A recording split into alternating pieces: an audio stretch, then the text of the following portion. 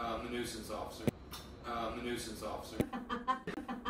A Smithsonian magazine said that Chillicothe was one of the 15 best towns to visit in 2022. So I'm curious to see what it is about Chillicothe that makes this place so unique. What What is it about Chillicothe that makes people go, whoa, we got to add that to our list of 15 best towns to visit?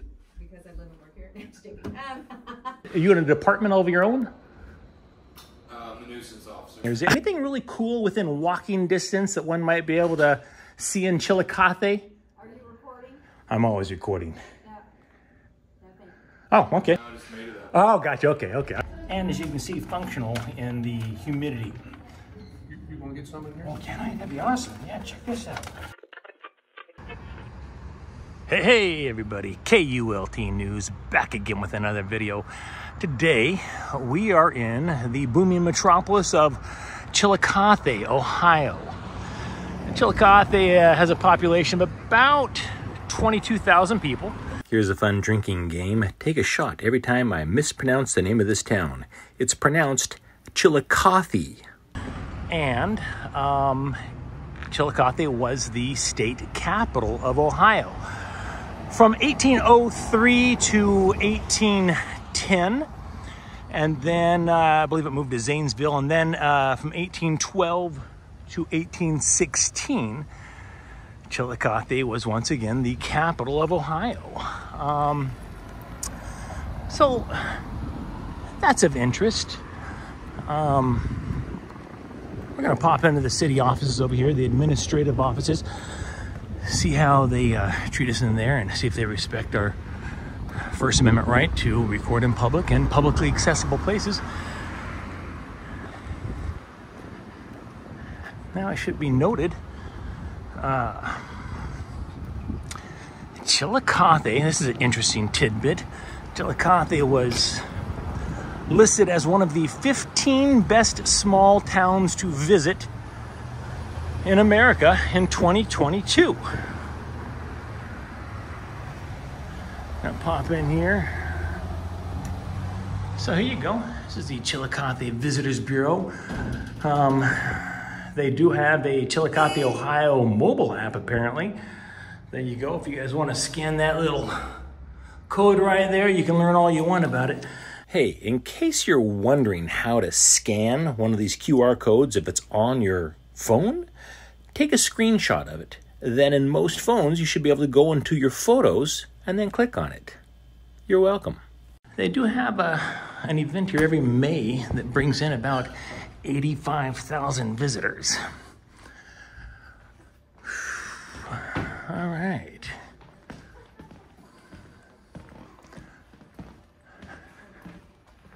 I'm assuming these are all the uh, old mayors. Oh, there you go, Margaret.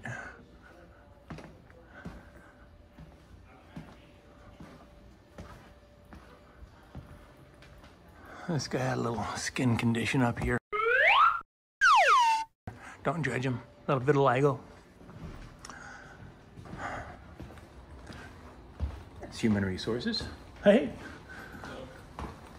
You don't have a sign on your door. May I ask what office this is? What, are you in a department all of your own? Um, the nuisance officer. Nuisance officer. I'm not even sure what that is. Is that a is that a real thing? Really?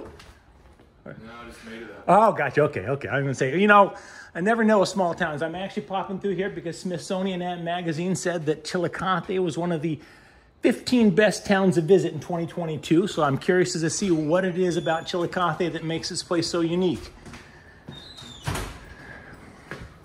Nothing back here. Nothing back there.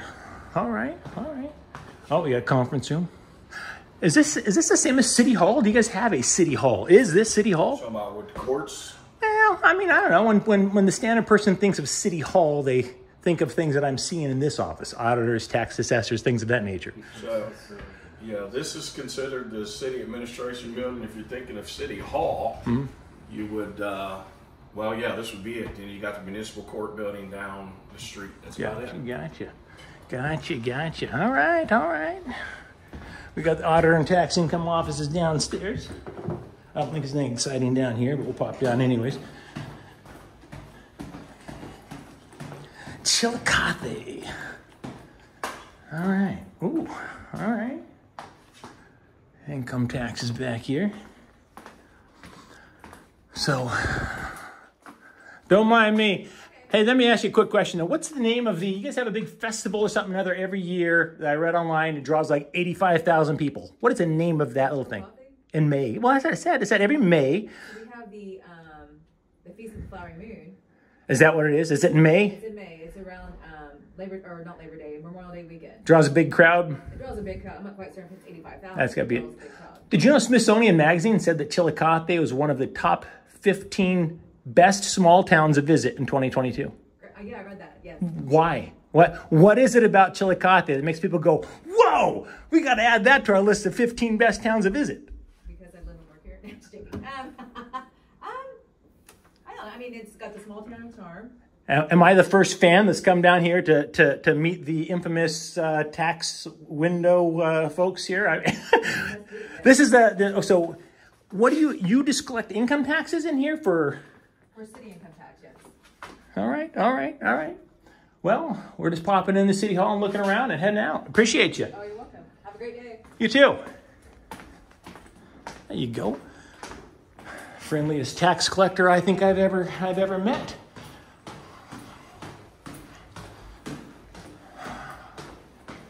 Can you imagine if she was not friendly? A tax collector that's not friendly? Eesh. But that gal was very friendly, so I'm assuming again these are Chillicothe mayors. So this is it. I mean, if you're gonna get a city hall, this is pretty much it. In and out. Well, oh wait, wait. Let's stop and ask one thing. Hey, may I ask, other than this majestic theater down here, is there anything really cool within walking distance that one might be able to see in Chillicothe? Are you recording? I'm always recording. No. No. Oh, okay. You don't want to. All right. What's your question, man? Well, I was just wondering if there was anything What's your question? anything interesting within walking distance of here other than the majestic theater that might be kind of cool to see around here We have the information caboose right down in the park. how far is that Uh, probably about three blocks. an information caboose caboose. all right It's a historic, uh, kind of historic thing. They have historic documents. There's a pump house gallery. and that's that's just right down this way with I'm it not sure what their hours are, but two or three blocks you walk straight down. If you walk straight down this street, you'll see it. It's a it's a red caboose that sits on the street. awesome who's the mayor right now Luke Feeney's our mayor. luke feeney Uh huh. all right there you go thank you sir All right, good luck, man. all right mayor luke feeney chillicothe ohio He's the mayor here currently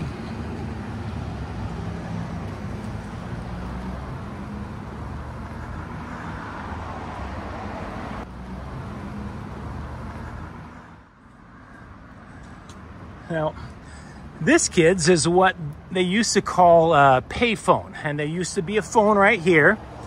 And if you were in downtown Chillicothe and needed your mom to come pick you up, you would uh, call her collect. And when it said, please say your name at the beep, you would say, I'm in front of Kerr Realty, pick me up. And then your mom would pick you up and it wouldn't cost you anything. Or you could stick 25 cents in the phone and actually make a phone call. But who wants to waste a quarter when you could just tell your mom to come pick you up with the thing for free? Am I right? Oh, see, now this is the old Chillicothe, Chillicothe, Chillicothe, City Hall. I fear I'm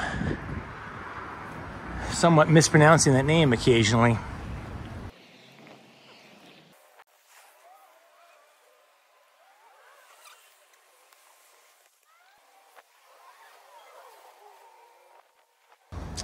It's the old original city hall for Chillicothe.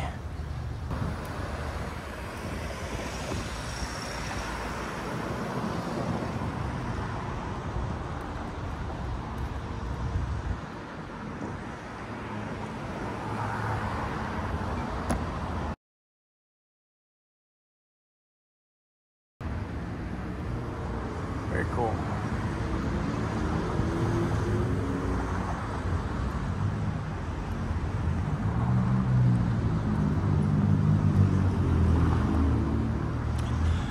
You know what I find interesting about these uh, things that are embossed over the, uh, or engraved, I guess, over the, the doors. I mean, that's, that is stonework. What I find interesting is that have a period at the end of each one of them. Like, that's a full sentence. Sheriff, period. unusual. I mean, I've never seen it before. I'm, maybe it's not unusual, but I think it's unusual. There we go. Well, now this is interesting. The recorder doesn't get a period after his name or her name, and neither does the treasurer. But then the auditor, all of a sudden, they get one.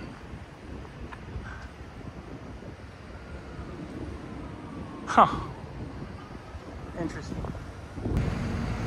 It's a little memorial to the uh, law enforcement officers that protect Ross County and its communities. Hmm. Pop in here and just see what's going down.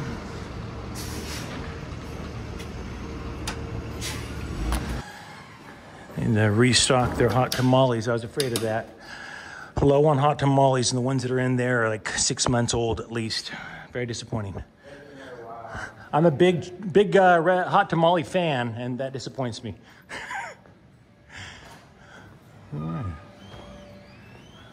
There's got to be a drinking fountain. Here we go. Oh, that's a good one.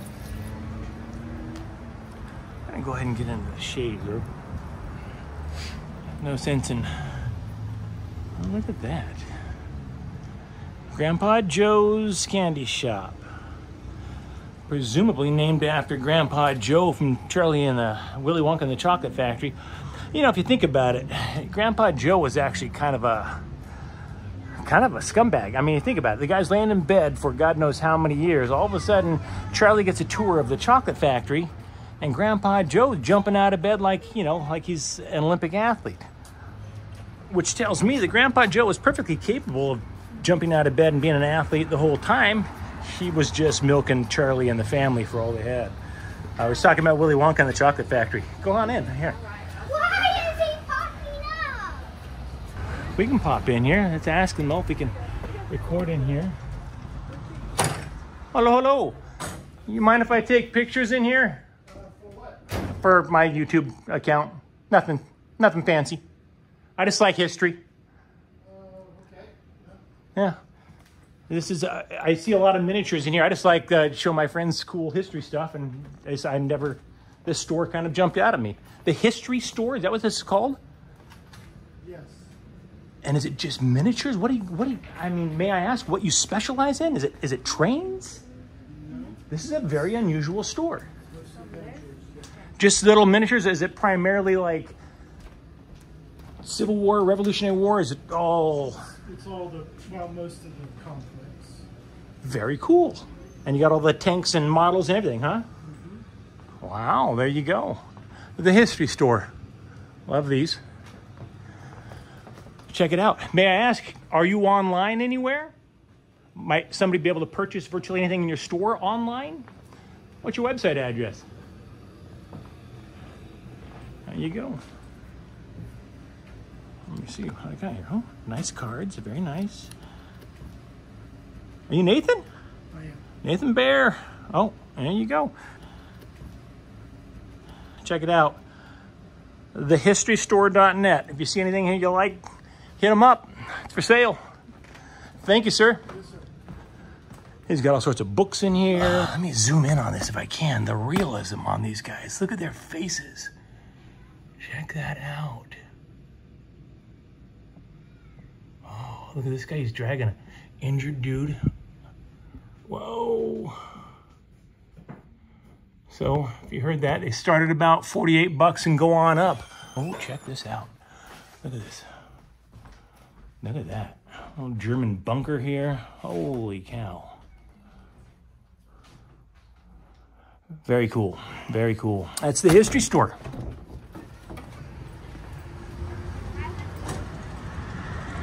That's the history store. Very cool stuff. Well, there you go. Let's see what this is.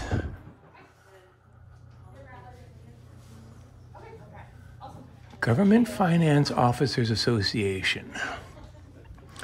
It looks like the good folks of Ross County, Ohio, have gotten certificates of achievement for excellence in financial reporting for like a million years in a row. 90, 91, 92, 93, 4, 95, 8, 99. I mean, it looks. What's the difference between a certificate of achievement for excellence in financial reporting and an award for outstanding achievement in popular annual financial reporting? We to the bottom of that. There's got to be a story behind that. There you go. Uh oh. Uh oh. Either they stop getting awards or they stop being financially excellent after 2011. I'm gonna get to the bottom of that. Did you guys stop getting rewards after 2011 for your financial uh, fisc uh, responsibility, or did you stop hanging the the uh, plaques up? Do we know? Oh, I'm sorry. Is this? I don't want to step where I'm not supposed to be going. Do you know? I, I just, uh, we're looking at the, all the plaques, and you got like 1990 all the way up, and then 2011 is the last one. I'm like, wait a second. No, they actually started giving these little, I'll show you. They started get, they stopped doing those, Mm-hmm. and they actually started doing these.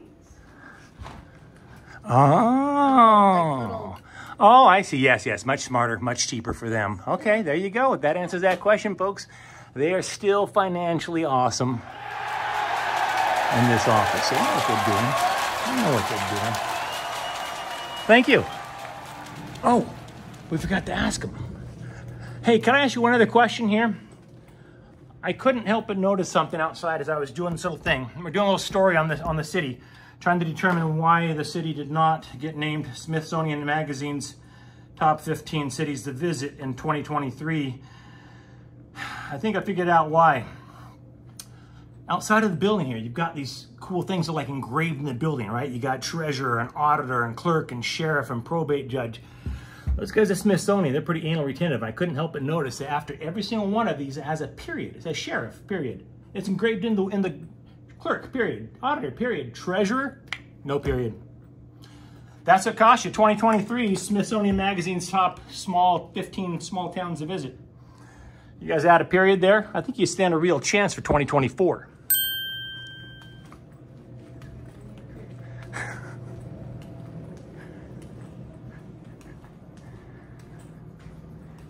Go. Oh, wait, wait, let's see. Holy cow, no knitting needles. Farms. Just looking at the list of stuff. Holy cow, that's a big list of stuff. Thank God I left my knitting needles at home. There you go. You walk into uh, the courthouse, and I got this. Check this out. Little handout on uh, on the building, the history of the building, some of the cool stuff we got in here. Chillicothe, Ohio. You can see all that.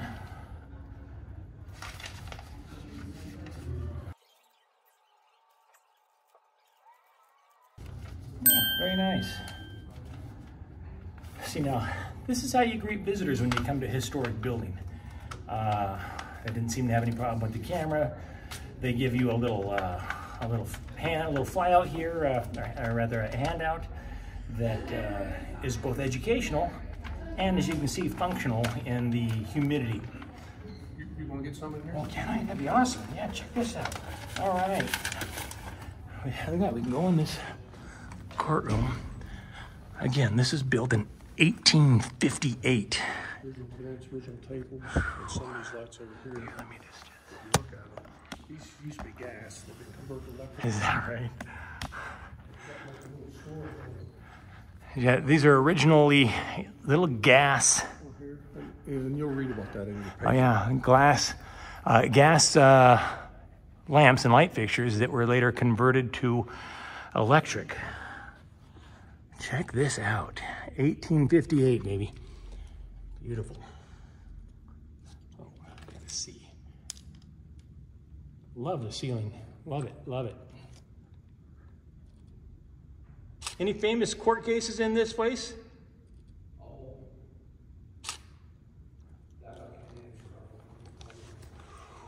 All right. Look at that chandelier. I would imagine that was probably put in in the 1850s, wasn't it? And so that's that was original to the courthouse, and that would have been piped in with natural gas and lit this place up. Wow, beautiful, beautiful, beautiful. Handicap accessible here. Whew. Very nice. Thank you, sir. Appreciate you. Oh. Yeah, well, yep. It's a neat courthouse. All right. That's it for the courthouse. Again, uh, Chillicothe was the capital of Ohio from 1803 to 1810, and then again from 1812 to 1816.